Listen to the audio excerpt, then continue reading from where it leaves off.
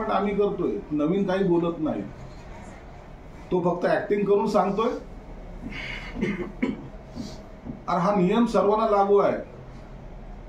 न्याय व्यवस्थेने दिलेला निर्णय सुद्धा आम्ही काही वेळा त्याला आक्षेप घ्यायचा प्रयत्न केलेला आहे. आम्ही बोललोय श्रीमंत घरचा मस्तवाल पोरगा जर लोकांना चिरडत असेल सर्वसामान्याच्या जीवाची पर्वा करत नसेल तर त्याची कठोर कारवाई ही त्याच्यावर झाली पाहिजे.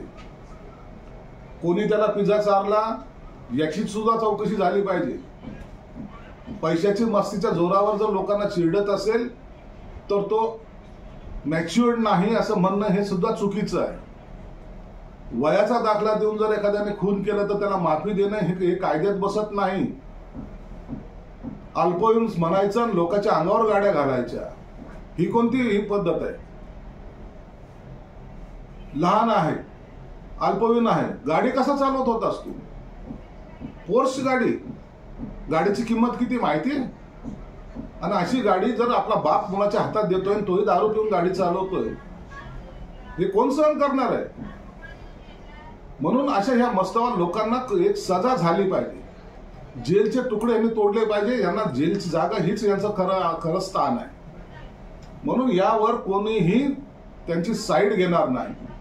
न्याय हे ज्यांचा जीव गेलाय त्यांच्या कुटुंबियाला हा मिळालाच पाहिजे. ही भूमिकेमध्ये सरकार आहे म्हणून वाटेल ते होईल. परंतु या गुन्हेगारावर कडक कारवाई झाल्याशिवाय राहणार नाही अशी आमची ठाम समजूत आहे. त्याच प्रकरणात असा नवीन मुद्दा समोर आलाय की त्याच्या रक्ताचा रिपोर्ट यायला दोन दिवसाचा वेळ लागलेला आहे. पण काही अभ्यासकांचं म्हणणं आहे की रक्ताचा रिपोर्ट फक्त बारा तासात येतो. ते सर्व चौकशाचा भाग आहे. आता त्याला चौकशा होऊ द्या. याच्यामध्ये कुणी कुणी डिले केला आहे कोणी त्याला सहकार्य केलं आहे कोण पोलीस स्टेशनला गेलं होतं? कोण त्याला सोडायला मदत करत होतं? त्याचा बाप असा पळत का होता? या सर्व गोष्टीचा खुलासे पोलीस चौकशीच्या अंती आपल्याला दिस- दिसून येतील. सर्वच गोष्टीवर आज भाष्य करणे योग्य नाही. पोलीस कमिशनर त्यांचं काम करतायत. त्यांना एखाद्या दिवसाचा आणखी जरी वेळ लागला तरी त्यामध्ये सर्व गोष्ट ही सर्व जनतेसमोर येणार आहे. म्हणून निश्चिंत राहा. सरकार गुन्हेगाराला पाठीशी घालणार नाही. ओके. ओके? मराठ्यात. आणि एका फ्लॅटमध्ये छत्रपती संभाजीनगरची स्त्री भ्रूण हत्या ही राज्यभर पुन्हा एकदा गाजलेली आहे. यावर कुणाचाही वचक नाही असं वाटतंय. श्री भ्रूण हत्याच्या संदर्भामध्ये या मराठवाड्याच्या भागामध्ये जास्त घटनाशा रोज उघडकीस येत आहेत. यावर खऱ्या अर्थानं गांभीर्याने घ्यायची गरज आहे. मराठवाडा हे श्रीभरून हत्येचं केंद्र ठरू नये अशी अपेक्षा मी करतो. ज्यांचे गर्भपात किंवा हे सर्व होत आहेत असलेले डॉक्टर सुद्धा बोगस डॉक्टर मोठ्या प्रमाणामध्ये मराठवाड्यातल्या काही भागामध्ये आढळत आहेत म्हणून सरकारने यांच्यावर कारवाई करताना त्यांच्या डिग्र्या प्रथमतः कॅन्सल करणे आणि त्यांना योग्य तो कठोर शिक्षा कशी होईल याकडे लक्ष देण्याची गरज आहे. आणि याची मुळामध्ये राज्य पातळीवर मराठवाड्यातच नव्हे तर राज्य पातळीवर असलेल्या अनेक जे काही असे बोगस डॉक्टर असेल तर त्यांची चौकशा सुद्धा केल्या पाहिजेत. आणि त्याला शोधून काढणे आणि त्यांच्यावर गुन्हे दाखल करणे हा मोहीम आता सरकारला सुरू करावी लागेल. सर सुप्रीम कोर्टानं कलम तीनशे सत्तर बाबतच्या निर्णयावर ईव्हीएम हॅक होऊ शकतं किंवा तिथे जाऊन कोणी काय करू शकतं त्याला पुस्तक बघा आमची भूमिका जेव्हा तुमच्या बरोबर आहे आमची भूमिका जेव्हा कारवाई करण्याची आहे आम्ही कुणाला पाठीशी घालणार नाही हे जेव्हा आम्ही वारंवार सांगतोय अशा वेळेला तुमची ही जबाबदारी बनते की ते नेमके कोणत्या पक्षाचे होते तो तो माणूस कुणाशी संबंधित होता त्या माणसाला कुणी सांगितलं होतं याचे पुरावे सुद्धा सरकारकडे दिले पाहिजे एखादी मागणी करताना या सगळ्या गोष्टीची गरज असते. होऊ शकतो त्यांचा सुद्धा माणूस असू शकतो परंतु आता व्हिडिओज काढायचे तर कोणाचे आजकाल व्हिडिओ निघतात. म्हणून अशा वेळेला सर्व पुरावे देऊन योग्य तो खातर जमा करून शासनाकडे पुरावे देऊन मग त्याच्याबद्दलचा लढा हा लढला पाहिजे. त्याला कुठे मागावर घेता कामा आहे आणि मग त्याला शिक्षा झाली तर ऑटोमॅटिक कळेल हा कोणत्या पक्षाचा होता कोणाशी निगडीत होता का? त्याला कोणी पाठवलं होतं का? हवेत कोणताही आरोप करणं सोपं आहे. त्याच्या मुळाशी जाणं हे गरजेचं आहे.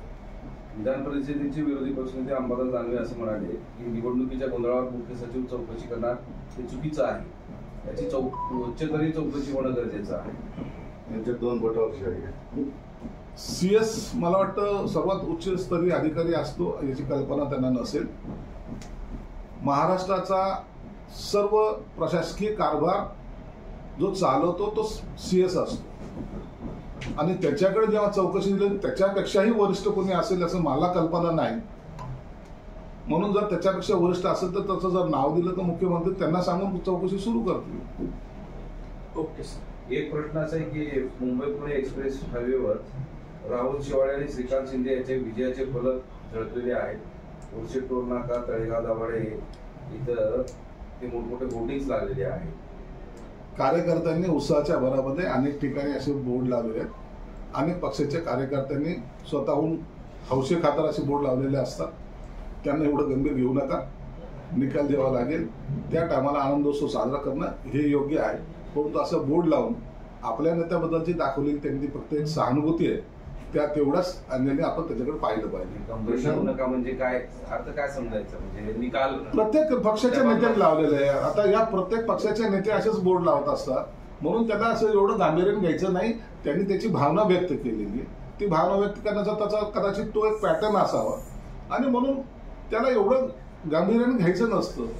असतं. कार्यकर्त्याचा उत्साह असतो. आनंदामध्ये करत असतो. भावना आहे का? कार्यकर्त्याचा विश्वास आहे? जे दिसलंय जेव्हा विश्वास निर्माण होतो त्या टायमाला तो भावना व्यक्त करतो.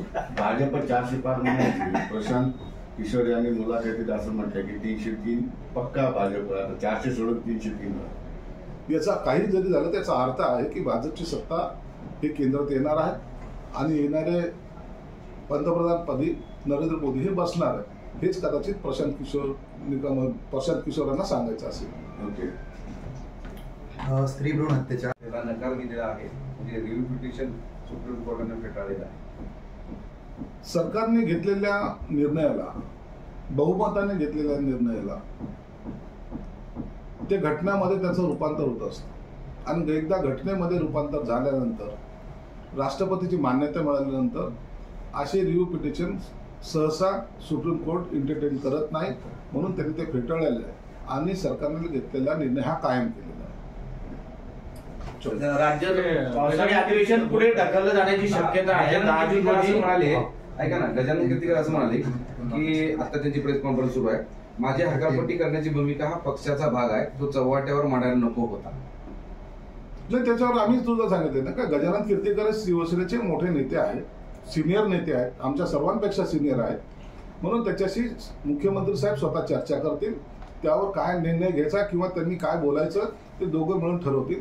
म्हणून त्याच्यावर आम्ही भाष्य करणार नाही. अजून हा या निवडणुकीत मला मानसिक त्रास झाला असं त्यांचंही म्हणणं आहे. ते वेगवेगळे मुद्दे मांडलेत. त्याच्यामध्ये मी पक्षासाठी अं, मी माझ्या उमे- आमच्या उमेदवारीसाठी प्रामाणिकपणे काम केलं. अं, एकनाथ शिंदे यांनी शिवसेना उभी केली. त्यात मी बळकट करण्या बळकट करण्यासाठी किंवा बळकटी करण्यासाठी मी प्रयत्न केलो. तर या निवडणुकीत मला मानसिक त्रास झाला असं त्यांचं म्हणणं निश्चित मानसिक त्रास होतो. कोणताही घरामध्ये जर वादविवाद झाले तर त्याचा मानसिक त्रास हा होतो. गजानन कीर्तीकरण झाला याबद्दल दुमत नाही. आणि आम्ही जो उठाव केला त्याला गजानन कीर्तीकरचा संपूर्णपणे पाठिंबा होता. ज्या वेळेला गजानन कीर्तीकरांचा ऑपरेशन झालं होतं त्यावेळेला स्वतः सीएम एकनाथ शिंदे साहेब आम्ही त्यांच्या त्यांच्या घरी सुद्धा गेलो होतो. म्हणून एक भावनिक नातं आमचं सुद्धा त्यांच्याशी जोडलं गेलेलं आहे. ते नातं जपायचं काम आम्हीही करतोय आणि तेही करतायत. म्हणून याच्यात वाद घालण्यात काही अर्थ नाही. झालेली ही जी काही त्यांची प्रतिक्रिया आहे ती स्वाभाविक आहे. घरातल्या कौटुंबिक वातावरणामुळे आहे. त्याच्यावर एवढं सिरियस घेण्यासारखं काही नाही. तर ते वेदांत अग्रवाल प्रकरणामध्ये करोडोंचा व्यवहार झाल्याचा आरोप पुण्याचे आमदार आहेत रवींद्र धनगेकर यांनी केला करोडोंचा व्यवहार झाला. जे काही झालं असेल दंगेकरांनी आरोप करो की आणखी कोणी आरोप करो याची सखोल चौकशी झालीच पाहिजे ही सत्ताधारी म्हणून मी मागणी करतो. यावर याच्यापेक्षाही आणखी काय असेल तर तातडीने कुणाला रस्त्यावर घेऊन काय फासावर अटकवता येत नाही. या चौकशा वरिष्ठ स्तरावर चालू आहेत आणि जो जो त्याच्यात आरोपी असेल त्याला निश्चित त्याच्या जागा त्याला रवानगी पोलीस कोठडीत निश्चित होईल. दहा दहा जूनला होणारं अधिवेशन हे पुढे ढकललं जाणार आहे जाण्याची शक्यता आहे कारण त्याला लोकसभेची निवडणूक प्रक्रियेचं कारण समोर नाही तसं काही होणार नाही. लोकसभेच्या निवडणुकीची सगळी प्रक्रिया सहा तारखेपर्यंत संपणार आहे. सहा तारखेला नवीन सरकार अस्तित्वात येईल आणि दहा जु दहा तारखेला जे काय आमचं अधिवेशन आहे ते रेग्युलर होईल. इथंच बसा. हे हे राजकीय स्टेटमेंट झालं. पोलीस आयुक्ताचं नियमन हे राज हे राजकीय झालं. खऱ्या अर्थानं आपल्याला त्या प्रकरणाशी जे जे गुंतलेलं असेल त्यांना सर्वांना सजा झाली पाहिजे या मताचे आम्ही सर्वजणच आहोत. मग तो विरोधी पक्षातला असो का सत्ताधारी पक्षातला असो? यामध्ये मतभेद करता कामा नये यामध्ये राजकारण आणता कामा नये सगळ्याची भूमिका एक असली पाहिजे की असे प्रकार जो कोणी करेल त्याला ह्या कायद्याचा जबर धाक असला पाहिजे आणि त्याला शिक्षाही मिळाली पाहिजे. राजकीय गजानन कीर्तीकरांच्या बाबतीत रोष निर्माण झालेला त्यांच्या थेट हकालपट्टीची मागणी शिशिर शिंदे यांनी मुख्यमंत्र्यांना पत्र लिहिले त्या पत्रामध्ये असं देखील म्हटलेलं आहे की मुख्यमंत्री जे मुख्य नेते आहेत त्यांना त्यांच्या पत्नी एकेरी शब्दात बोलतात किंवा त्यांचं पुत्रप्रेम आहे अशा पद्धतीचं त्यामुळे तक्रार करण्यात आलेली आहे आणि त्या कीर्तीकरांना हकालपट्टी करावी अशी देखील मागणी केली गजानन कीर्तीकर हे शिवसेनेचे ज्येष्ठ नेते आहेत. त्याचा आम्ही सर्वजण सन्मानच करतो. घरातलं राजकीय वातावरण जर पाहिलं तर एकीकडे मुलगा खासदारकीला उभा आहे घरातलं कुटुंब त्या साईडला आहे हे एका साईडला आहे परंतु मला वाटतं की आपण हे जरुरी असलं तरी या अशा वेळेला त्यांनी सायलेंट ही भूमिका घेतली पाहिजे. एखाद्या मतदारसंघापर्यंत बोलणं हे उचित आहे. परंतु महाराष्ट्राच्या राजकारणावर भाष्य करणं अशा वेळेला मला वाटतं पक्षासाठी योग्य नसतं असं माझं वैयक्तिक मत आहे. ते ज्येष्ठ आहेत त्यांनी ते समजलं पाहिजे. तुमच्या या बोलण्यामुळं इतरांना चर्चा करायला जो काय वाव मिळतो हा वाव मिळता कामा नये.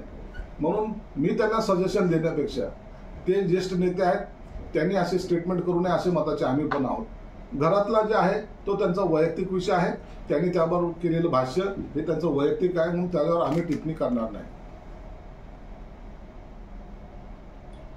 मला त्यांचं ते आरोप जे आहेत गजाभाऊचे की अडीच त्यांचा सगळा जो राज्यसभेचा म्हणजे पत्र लिहिलं एक जणांनी तुमच्याच एका एकाने की तातडीनं गजाभाऊंची हकालपट्टी करा. नाही त्यांनी जे पत्र लिहिलेले आहे त्या पत्राची मुख्यमंत्री दखल निश्चित घेतील. त्यावर काय करायचं याचा निर्णय हा सर्वस्वी मुख्यमंत्री पक्षाचे मुख्य नेते एकनाथ शिंदे साहेबाचा असणार आहे. म्हणून त्यांनी काय निर्णय घ्यावा हा त्यांचा अधिकार आहे. तुम्ही अनेक वर्षी त्यांच्यासोबत काम केलेले मात्र तुम्हाला काय वाटतं पत्र कितपत योग्य ठरेल हा पत्र हकालपट्टी? असं नसतं एखाद्या एखादा ज्येष्ठ नेता जो शिवसेनेचा अनेक वर्षापासूनचा म्हणजे सुरुवातीपासूनचा जो नेता आहे त्याबद्दल कोणताही निर्णय घेताना काळजीपूर्वक किंवा त्यांना बोलून त्यांना विचारून त्यांना विचार त्यांचं काय मत होतं एकदा समजून घेऊन मग त्याच्यावर च- साधक बाधक चर्चा होऊनच जो काही निर्णय व्हायचा तो होईल. तर त्या विशाल अग्रवाल प्रकरणामध्ये आणखीन एक विषय समोर आलाय. की माजी मंत्री जे होते प्राजक्त तनपुरे यांच्या मुलाचं सुद्धा या विशाल अग्रवालने शाळेमध्ये रॅगिंग केलं होतं. त्याच्या रॅगिंगला कंटाळून प्राजक्त तनपुरेच्या मुलाला शाळा बदलावी लागली. हा जो विशाल अग्रवाल आहे याचे जे आता प्रकरण पुन्हा पुढे येत आहेत तनपुरेच्या मुलासंदर्भातले याचा अर्थ असा आहे की याला तुम्ही मॅच्युअर्ड झाला नाही किंवा वय ह्याचं झालं नाही ह्या क्रायटेरिया याला लावता येणार नाही.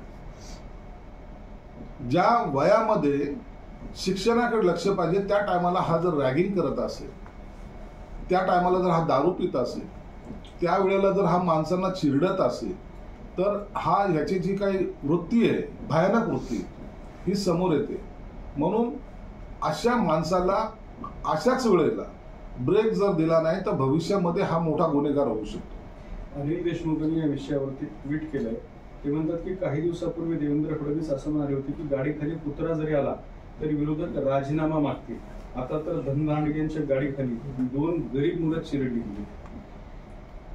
गाडी खाली जी मुलं चिरडली गेली त्याच्याबद्दल आम्हाला सुद्धा सहानुभूती आहे आणि वाईट सुद्धा वाटते. म्हणून आम्ही अशा गोष्टींना सिरियसली घेतो. राजकारण हा विषय यामध्ये येऊ नये असं मी वारंवार सांगतो.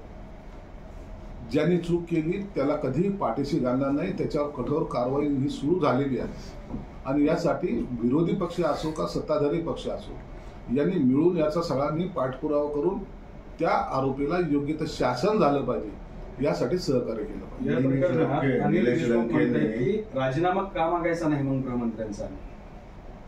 राजीनामा मागणं हा राजकीय विषय असू शकतो. हा त्या घटनेशी जे काही आपल्याला कारवाई करायची त्यावर जर काही मागणी केली तर त्याचा योग्य तो जरूर विचार केला जाईल. निलेश लंकेने एक व्हिडिओ ट्विट केला जो फार सिरियस आहे. ईव्हीएम स्ट्रॉंग मशीनच्या स्ट्रॉंग रूममध्ये घुसण्याचा तर फोडण्याचा प्रयत्न होतोय. ही गंभीर बाब आहे याच्याबद्दल काय म्हणाल कारण तिथं सिक्युरिटी प्रचंड असते त्या ठिकाणी माणूस जातोच नाही असा प्रकार ज्या ठिकाणी झाला असेल त्या ठिकाणी या राज्यघटनेचं जो उल्लंघन करतोय किंवा लोकशाहीचा जो गळा दाबाचा प्रयत्न करतो मग तो कोणीही मोठा नेता असो का गुंडा असो त्याला राजद्रोहाचा त्याच्यावर गुन्हा दाखल झाला पाहिजे. त्याला जी शिक्षा सर्वात जास्त देता येईल महाराष्ट्र राज्य हे इतर राज्याप्रमाणे नाही सुसंस्कृत असलेलं हे राज्य आहे. म्हणून या या ठिकाणी असे प्रकार जर घडत असेल तर त्याला शिक्षा ही झालीच पाहिजे या मताचे आम्ही आहोत. पुण्याच्या हिट अँड रन प्रकरणामध्ये ज्या मुलाच्या गाडीने दोन लोकांचे मृत्यू झाले एक मुलगा एक मुलगीचा त्या संदर्भामध्ये जनतेच्या अत्यंत तीव्र भावना आणि तीव्र पडसाद या महाराष्ट्रभर उमटलेल्या आहेत. एखादा मस्तवाल मुलगा श्रीमंतीच्या जोरावर काय करू शकतो आणि त्याचे परिणाम कसे घडू शकतात यावर अनेकांनी संताप व्यक्त केला. मग त्याच्यामध्ये पोलिसांनी काय कार्यवाही केली? याच्यावर प्रश्नचिन्ह उपस्थित झाले. सरकार काय करतं? याच्यावर प्रश्नचिन्ह उपस्थित झाले. परंतु एक गोष्ट स्पष्ट आहे. झालेल्या घटनेचा निंदा ही प्रत्येकाने केली तर आहेच आहे. परंतु सरकारने सुद्धा त्यावर कठोर पावलं उचललेली आहे उपमुख्यमंत्री देवेंद्र फडणवीसांनी तो नाबालिक आहे जरी असला तरी त्याला संज्ञान धरावं आणि त्याच्यावर गुन्हा दाखल करावा याच्यासाठी शासनाकडून सूचना देण्यात आलेल्या आहे. म्हणून त्याच्यावर तीनशे चारचा गुन्हा हा दाखल झालेला आहे. दुसरा त्याला जे सहकार्य सहकार्य करणारे होते त्याचे वडील ज्यांनी लायसन नसताना सुद्धा मुलाला गाडी देणे त्यावर त्याला जो पैसा जमा पुरवणे आणि एका दिवसाचा खर्च जवळपास अठ्ठेचाळीस हजार रुपये त्या दारूच्या पबचा खर्च हे सगळ्या गोष्टी जर पाहिल्या तर चीड निर्माण होते. प्रत्येक माणसाला वाटतं की अशा लोकांनी यांना कठोर कारवाई झाली पाहिजे त्या दिशेने सरकारने पावलं उचललेली आहे पण एक गोष्टीची खंत जरूर आहे. यामध्ये न्यायालयाने जो दिलेला निकाल आहे जो त्याला नियमाचं पाठांतर करणे किंवा त्याच्यावर चर्चा करणे बसून कॉन्स्टेबल बरोबर बसून त्या अभ्यास करण्याचा प्रकार जो केलेला आहे मला वाटतं इतिहासामध्ये अशी घटना कधी घडत नाही. कसली त्याला सजा दिलेली की तुम्ही आता नियम काय तर सांगा. लाल लाइट लागल्यानंतर गाडी थांबवायची येलो झाल्यानंतर पुन्हा समजायचं का? आता दुसरा ग्रीन सिग्नल पडणार आहे मग गाडी काढायची. हे असे नियमावर सांगणं आणि त्या मुलाला शिकवणं जो दारू पिऊन असे भरधाव वेगामध्ये गाड्या चालवतो. समोरच्याला कुणाला न पाहता गाडी खाली चिरडतो. मला वाटतं हे सुद्धा बरोबर नाहीये. मला वाटतं न्यायालयाने दिलेला जरी निकाल असला तरी तो सर्वसामान्य माणसाला पटलेला नाही पण न्यायालयाने त्याला पुन्हा आत बोलवलेलं आहे आणि पुन्हा पुनर्विचार या सगळ्या गोष्टींचा होतं हे सर्व दावा झाल्यानंतर प्रत्येक नागरिकांनी नागरिकाने याबद्दलचा संताप व्यक्त केल्यानंतर न्यायालयानं त्याला आत बोलून पुन्हा त्याच्यावर आता नवीन प्रकारचं कायद्याच्या नुसार कारवाई करण्याचे संकेत दिलेले आहेत. परंतु मला तर मला असं वाटतं की अशा कोणत्याही प्रकरणामध्ये कोणताही राजकीय पक्षाचा नेता असो पोलीस कर्मचारी असो किंवा इतर कोणी असो त्यांना कुठेही स्पेस मिळता कामा नये त्यांना माफ करता कामा नाही जो जो या प्रकरणाशी निगडीत असेल त्यांच्यावर सुद्धा गुन्हे दाखल केले पाहिजेत आणि या मताचे आम्ही आहोत. पोलीस आयुक्तांचं निलंबन करावं अशी तिथे मागणी आहे होती.